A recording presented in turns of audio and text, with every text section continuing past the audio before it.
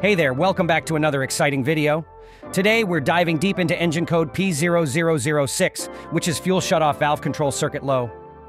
By the end of this video, you'll learn about the symptoms of a P0006 trouble code, its causes, necessary steps to troubleshoot, and preventive measures to avoid P0006 code. So what exactly does the engine code P0006 mean? Well, it indicates issues with the fuel shutoff valve control circuit. Specifically, it indicates that the circuit's voltage is lower than the expected range. Let's dive into the symptoms of a sneaky little trouble code, P0006. It can cause some serious headaches under the hood. So let's break it down, one symptom at a time.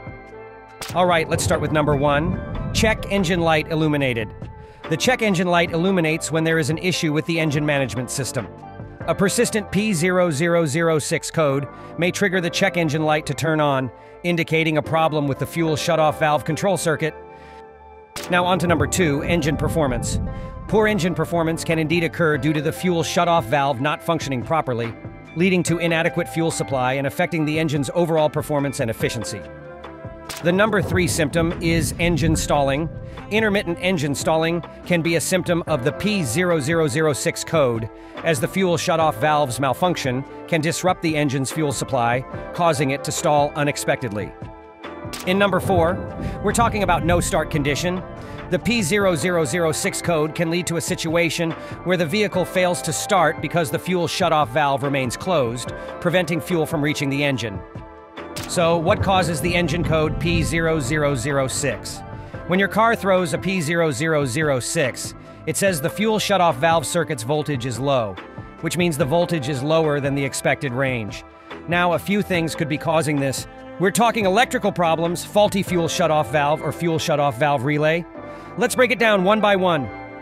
First up, we've got electrical wire issues. An open circuit in the fuel shutoff valve control circuit can lead to the P0 006 trouble code. This may occur due to damaged or frayed wires, corroded connectors, or poor electrical connections. Number two, faulty fuel shutoff valve. A failed fuel shutoff valve, whether due to mechanical or electrical issues, can trigger the P0006 trouble code. This valve is crucial for controlling the flow of fuel to the engine, and any malfunction can disrupt the fuel supply, leading to various issues. Check out the video in the corner for guidance to diagnose a faulty fuel shutoff valve. And coming in at number three, faulty powertrain control module. The PCM is responsible for controlling various engine functions, including the operation of the fuel shutoff valve.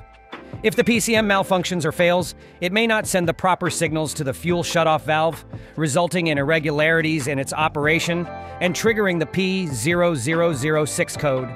Check out the video in the corner for guidance to diagnose a faulty powertrain control module.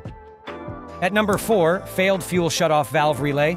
A faulty relay can render the fuel shutoff valve inoperative, triggering the P0006 code. You can test the relay. For detailed instructions, refer to our blog on how to test a relay. Check the detailed article in the description. The P0006 code may be accompanied by various other OBD2 codes. It is important to find the root cause of P0006 to diagnose effectively. Reading other codes that come with the P0006 code may help in finding the root cause. The list of related codes is long, therefore, we have provided this information in the description with their meanings. Check in the description for more details. Now, how to diagnose and fix the P0006 code. When it comes to diagnosing and fixing the P0006 code, it's all about pinpointing issues with the fuel shutoff valve control circuit. Diagnosing the P0006 code typically requires specialized diagnostic tools and equipment. However, there are some methods you can try yourself to diagnose and potentially fix the issue.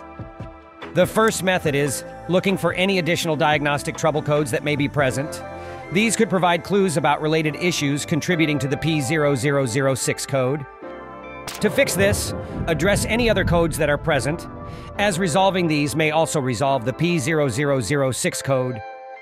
Method 2 is check for electrical wire issues, inspect the electrical wiring related to the fuel shutoff valve for any signs of damage, such as frayed wires, loose connections, or corroded terminals.